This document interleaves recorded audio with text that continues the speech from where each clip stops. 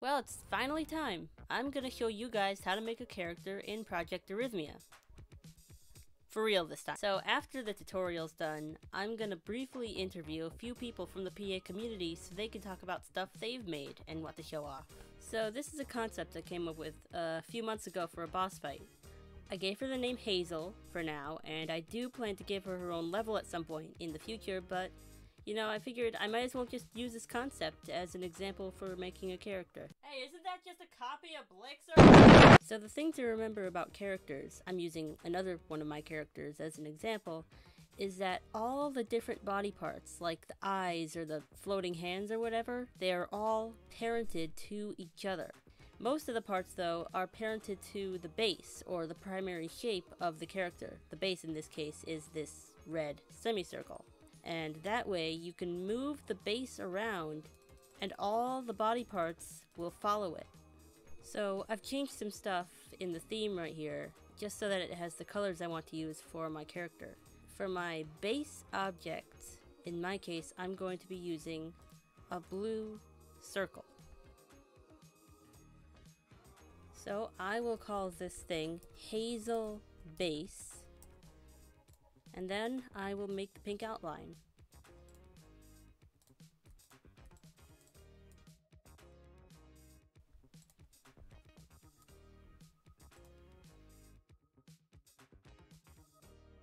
So now I will parent this thing to Hazel Base. This whole part of the video really is just going to be me making different body parts and then just parenting them to the base right here.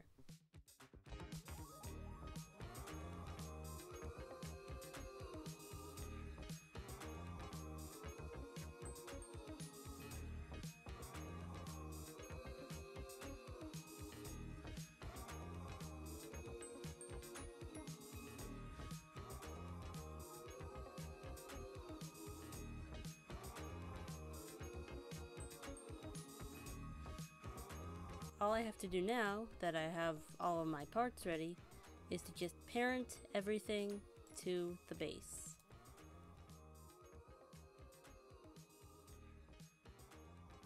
So I have all the body parts made and I have the base. Technically I'm done already. I could just keep it like this. And when I want to move the character, I just have to move the base around and everything would follow it. But what about if you wanted to grow and shrink your entire character? That's where scale parenting comes in.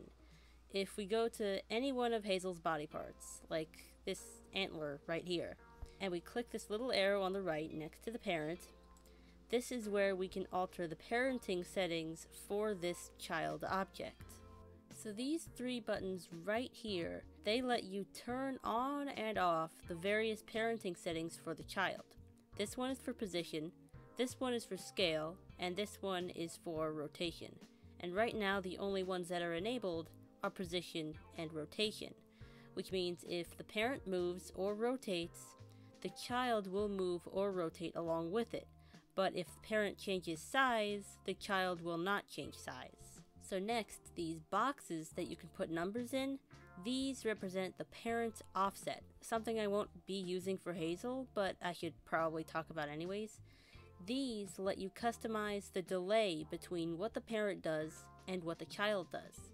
For instance, if I type in 1 to the position row, the child will wait 1 second before following the parent when the parent moves. But I will not be using parent offset for this, so I'll just put it back to 0. So as I said, right now the object's position and rotation are synced up with the parent, but the scale is not. Meaning when I change the base's size, the antler will not change size with it, and neither will anything else. So obviously I just have to turn this on, right? It's not that simple. See, right now, the base, the thing that all of these things are parented to, it has a scale of 9, 9 and the, the antler thing that I was just messing around with, this thing has a scale of 7, 3. When I turned this thing on, when I turned on the scale parenting, the scale of this antler is being multiplied by the scale of the base, multiplying the two x coordinates and then multiplying the two y coordinates to get a scale of, I believe, 6327. But you're probably thinking, where, where did it even go? I'll show you where it went. If I just zoom out a bit here, that's where it went. Obviously, I don't want that. So I'm going to be showing a little trick just in case you do want to grow your entire character. So first, I'm just going to slide everything down. Then I will make a new object, normal. I will call it Hazel Scale. I will give it a scale of 1, 1. Then I will just parent Hazel Base to Hazel Scale and then turn on the scale parenting right here. And we're done. Now, whenever I want to change Hazel's scale, all I have to do is change the scale of this object I just made. Right now the scale is at 1, 1, which means Hazel's scale will be 1 times as big, which is just the default size. So if I switch the scale to 2, 2, she will be twice as big. 3, 3 makes her 3 times as big. You, you get the idea. That's how you make a character and that's how you make him change size. I wanted to take this chance to just show another cool thing you can do with parenting. This is, again, the other boss I made called the Manager for an upcoming level. Kind of looks like Plankton right here. But I made it so that if you shift his eyebrow thing down, it covers up his eye. And that's because there's an object parented to his eyebrow that's the same color as the base. If I change the color, you can see very clearly it's right there. So when I move the eyebrow up and down, you can see that this invisible object follows it. But enough about me, let's talk to some people from the community. Hey, I. You remember when I said I didn't have a script? yeah. yeah. I just wanted to, to like show off what you did for your Spectra level because you know it has those consistently moving boss parts like the wings. Yes. And you know, if you could just, you know, show off like the keyframes and stuff. What I did, um, when I make my rigs, I usually have all my details to the left side before I have the base. And I oh. like to oh. have oh. my bases out of these empty objects. So like I can actually squish and move them however I want when I need that for like for example for her antennae they actually squished a lot and they wouldn't be able to do that if i didn't use an empty base yeah so lit- i literally never thought of putting details in the back i've always had everything just clumped yeah together. It's better to have um the bases and the stuff that actually move over to the left no to the right side just so that you can a- animate them easier uh, could we and this is hmm? what no yeah keep going I was gonna say this is not in the new version still, so this might get outdated very quickly, unfortunately. Oh uh, well, well that's fine. But uh, I was wondering if you could click on one of the wings. Uh, sure. So, so we could see like how you got them to move and stuff. What I did for the wings, I have them uh, scale parented along with the the wing base here, and when I did to make them move, I just have one really, really long object event. Yeah, you can see right there. And I just copied and I pasted the keyframes for her wings to move the way that they do. So it keeps going from like from full size to zero to full size over and over? Pretty much, yeah.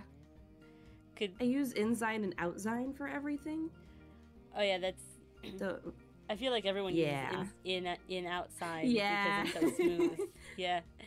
I didn't do that at first. I used a lot more linear stuff at first, like for Twilight, and I've uh, I learned since then. Oh, and that's yeah, that's pretty much how I got them to move. Is that it? I wanted to uh, show off uh, the lip syncing you did for uh, the Get Down level. Yes. Yes. And even for Doom. So, I wanted to focus on the animation you did uh, for Freaky's mouth. That must have taken a really long time. It did actually, and it was the first thing that I did for the boss at this point. That's when it starts moving? That's start moving. So the mouth is composed of two half circles that are completely independent, but now are in the same position. and then you have the teeth that are linked to targets. Can we see like the keyframes for the the mouth? Oh Yep. my god, that's a lot of. Oh my Yep. god. They are really, really tied up. All of them. So it changes size a whole lot. They're really tied together, and this is just because, well, you need to create the position at which mouth moves. That Yeah. is a lot of keyframes. And this is why I struggle with boss animation. I can't really keep track of all this stuff. I simply try to imitate what my mouth was making, as in what movement they were making. You were, you were like showing it like you were doing it in the mirror or something? Not even mirror, I just felt, literally felt, or even imagined how my mouth was moving for each syll- syllabus that I, was, that I was doing. And for literally 10 hours straight, I have made the entire lip syncing. 10 hours. And after that, I was, yes, 10 hours. It took almost averagely 10 hours to make the lip sync for the level. Well, that's some dedication right there. Um, if you wonder what are the movements, or rather the easing type that I use for the mouth, it's OutSine. Almost all of them are OutSine. I feel like outside, in outside, they're all the most popular ones. If you try to be professional, it's not good. You're going to lose your uh, your, your uh, My public. my reputation, your public, my yes. my, Your st- my street cred. Street cred. Like I said, I wanted you in the video because your bosses are incredibly detailed. So like, I, I you can show off any one of your detailed bosses I want you want, I guess.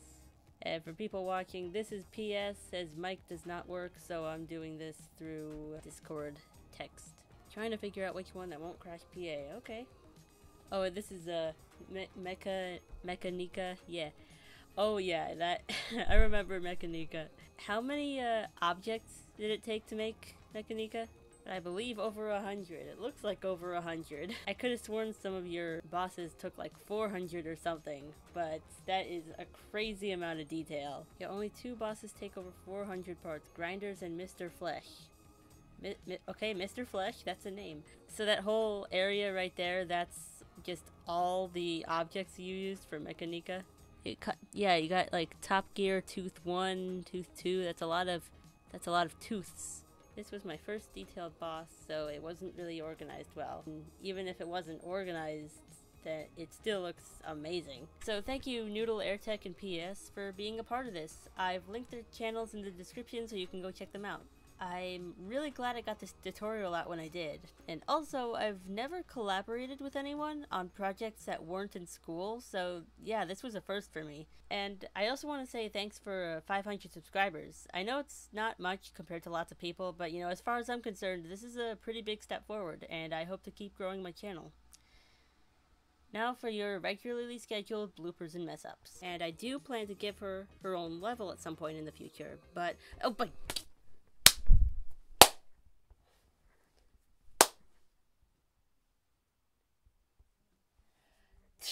Oh my, right. Two of them! That will, in this case, be a blue circle. A circle. I would like it to be a circle, please. There we go. If I switch the scale to 2, 2, nothing happens. Wait a minute. Oh yeah, I forgot to put this thing in. Yay!